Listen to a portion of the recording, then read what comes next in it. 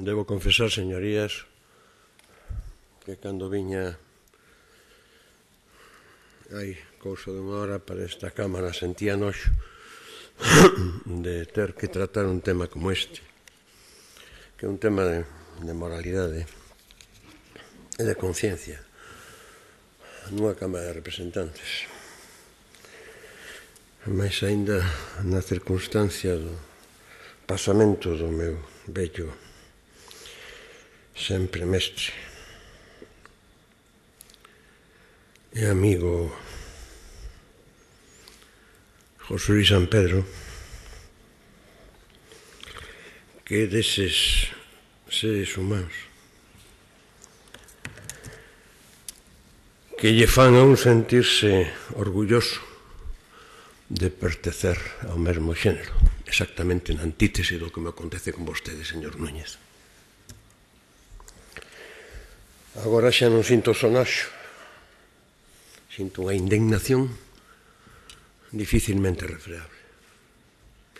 Se faltaba algunha proba no plano da caracteroloxía psicolóxica de que vostede, vostede moitísimo máis grave aínda de que calquera de nós podía sospeitar eu que nunca fixen xuíces de intención de ninguén que non sou suspicaz a prova acaba de dar a vostede co recital de desvergoña absoluta, de soberbia, de desprezo dos valores das cidades que usted acaba de dar. Eu que son bello, ou de 50 anos primeiros da miña vida o fascismo, vía a faciana do fascismo outra vez nesta Cámara, A demagogia do fascismo, dos Girón de compañía, dos que pasearan xente no 36, e presumían de catolicismo integral. Sublévanos. apenas teño capacidade de reprimir a miña indignación.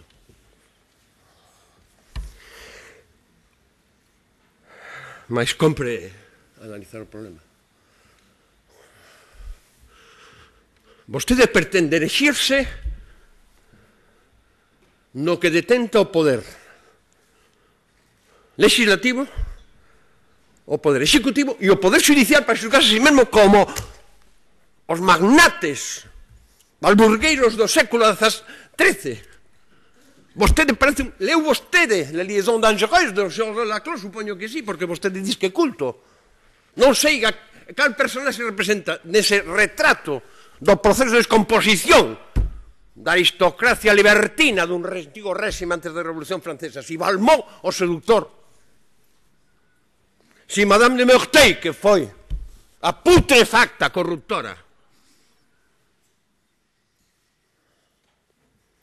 ou se se cadra, según as súas versións, Mademoiselle Cécile de Volange a seducida, vostede foi o seducido.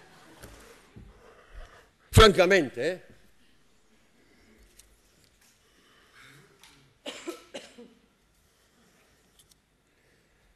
A realidade, cada individuo,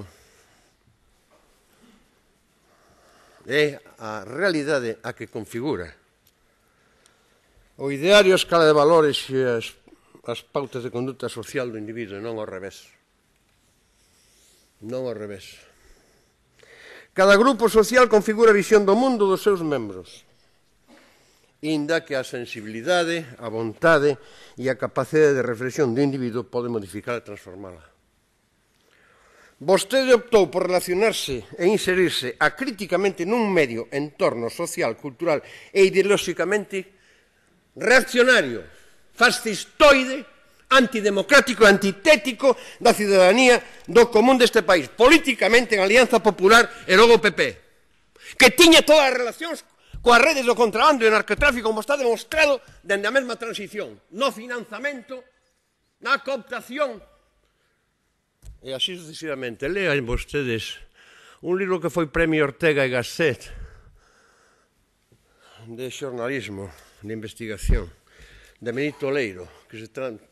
un lugar tranquilo, está todo documentado cos informes policiais nos sumarios sucesivos dos anos 80. É antitético da cidadanía do común deste país a súa visión. Vostedes elixiu as súas compañías. E o que vimos tratar aquí é un problema que suscita este debate que compre analizarmos consiste na conduta de vostede como político en dous episodios distanciados entre sí por dous decenios. O primeiro, o comenzo da súa enigmática relación con Marcial Dorado. Eu non fago xuicios de valor nin intención, nin, nin prexulgo. Como vostede que prexulga toda a oposición, ve usted a xulgar a oposición. É o colmo, vamos. A falta de, a máis elemental, xa non digo modestia, sino prudencia democrática a comenzo da súa enigmática relación comercial do Estado a principios dos anos 90, cando vostede era un alto cargo da Consellería de Sanidade e a droga estaba a facer estrago neste país. E o SIDA, teño amigos e mesmo parentes das xeracións que tamén víctimas do SIDA da época que vostede tiña responsabilidade. De segundo labor do Romai Becaría, Ave María, da Consellería de Sanidade da Xunta presidida por Fraga. Non se enteraba tampouco do que pasaba, que non había absolutamente ninguna protección de preventiva, ni contra a drogodependencia, nin contra o narcotráfico. Só as mulleres da Arousa que se ergueron contra os narcotraficantes, arrostando a presión, a violencia. Choraban ainda hai tres días falando con nós. E vostede estaba neses medios. na esa Europa democrática que vostedes falan, dividen ministros e ministras por cousiñas como unha multa de tráfico falsificada. Vostede ve aquí aínda insultar a oposición e aos cidadãos que nos representamos e a xente que está aí arriba representando os que padeceron aquela peste en primeira liña de fogo. Faime vostede chorar de noxo, de carraxe, de indignación. E logo a súa relación máis tarde e a súa reacción perante a revelación pública de aquela relación agora, cando vostede é eh, presidente electo da Xunta de Galicia. A clave do problema radica non na intimidade dunha relación personal entre dous individuos calisquer, senón na relación bipolar entre ética e política. Unha relación tantas veces contradictoria, en ocasións incluso dilemática, que na súa peripecia simplifica negativamente nos dous episodios vostede violou e está a violar os principios e valores elementais dunha ética social honestamente democrática. E o contexto deses dous episodios é análogo. O do primeiro as relacións espóreas da urdime de lanza popular primeiro e PP despois coa trama dos clans orusans do fume da fariña, contrabando e narcotráfico, que existían na transición, que atinxiu o financiamento ilegal, a control social, a caciquismo electoral, ou seja, corrupción e que continuaron cando os clans pasaron do contrabando ao narcotráfico. Está documentado o ano 1987 como ano clave para o paso do fume á fariña.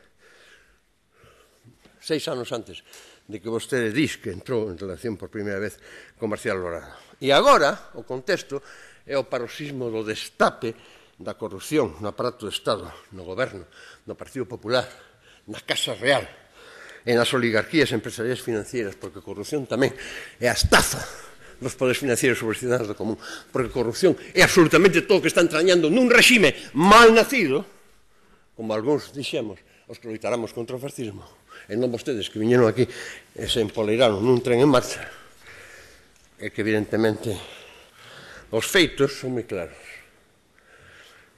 No 93 vostede fixo amigo dun delincuente, por mediación de outro delincuente.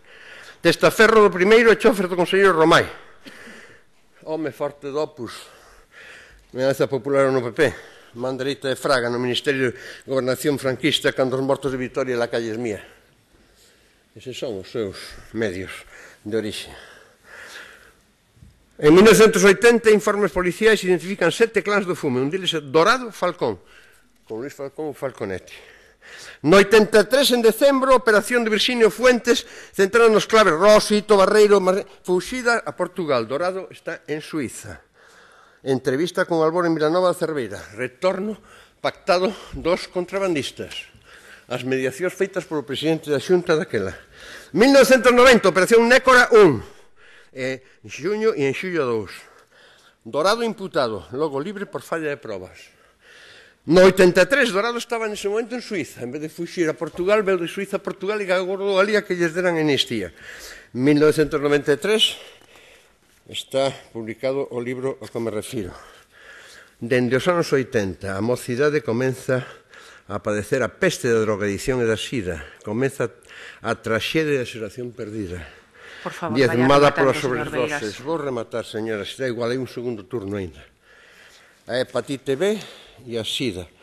Dende os fins dos anos 80 comeza, insisto, a heroica loita das mulleres e cidadáns da Arousa. E vostede, mentras tanto, di que foron unhas fotos de certas relacións simplemente de ocio.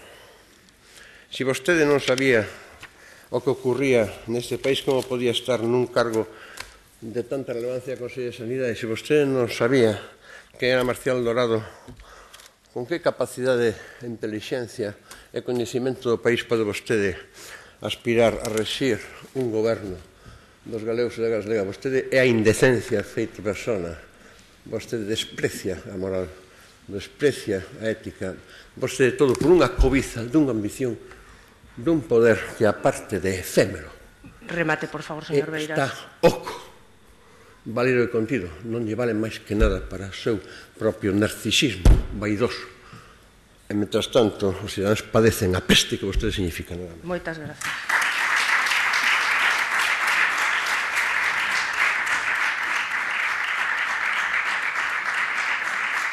Polo Grupo Parlamentario Socialista ten a palabra o señor